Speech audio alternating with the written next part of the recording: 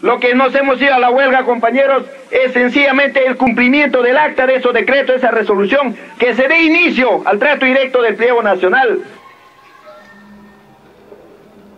La primera huelga estaba, estábamos en la época del gobierno aprista.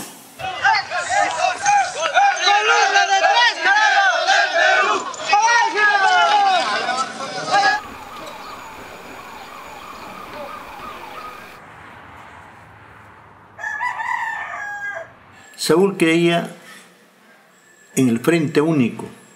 El sindicato es un frente único, ¿no es cierto? Donde caben apristas, comunistas, socialistas, belaundias, y él tenía claro, clarísimo